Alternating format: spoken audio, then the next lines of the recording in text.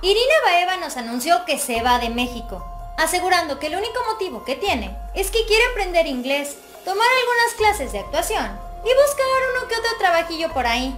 Pero déjame te platico que se acaban de descubrir las verdaderas razones por las cuales ella se quiere ir de México.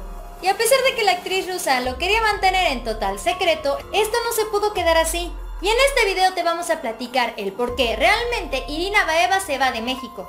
Irina Baeva anunció que este próximo 20 de septiembre ella se va a ir a vivir a la Gran Manzana. El motivo, ella quiere perfeccionar su inglés, además de aprovechar el tiempo y tomar unas cuantas clases y talleres de actuación.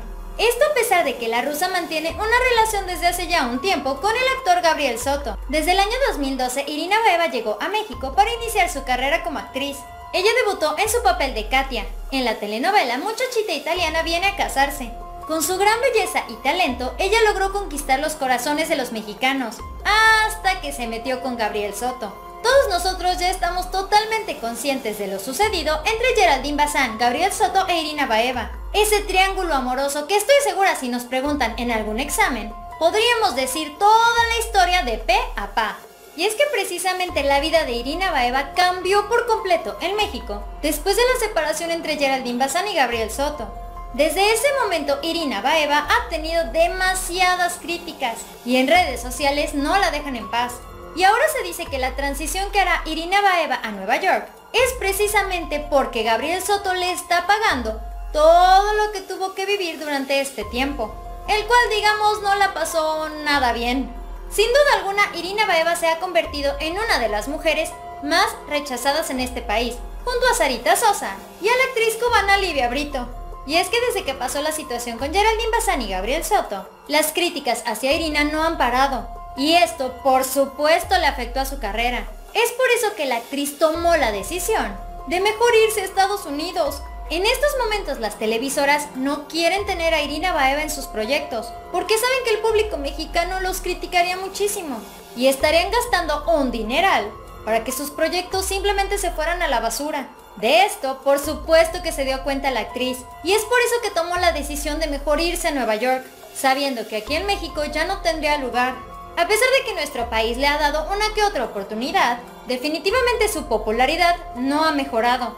Tan solo pudimos ver cómo en los últimos días que el programa hoy tuvo conductoras invitadas y una de ellas fue Irina Baeva, el programa se llenó de críticas y comentarios negativos, asegurando que ahora están poniendo a extranjeras que el público no quiere.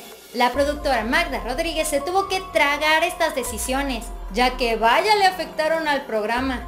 Ahora lo que Irina Baeva está pretendiendo es convertirse en la próxima Salma Hayek, Kate del Castillo, Ana Brenda o Eiza González, las cuales pudimos ver que han tenido mucho éxito en el extranjero.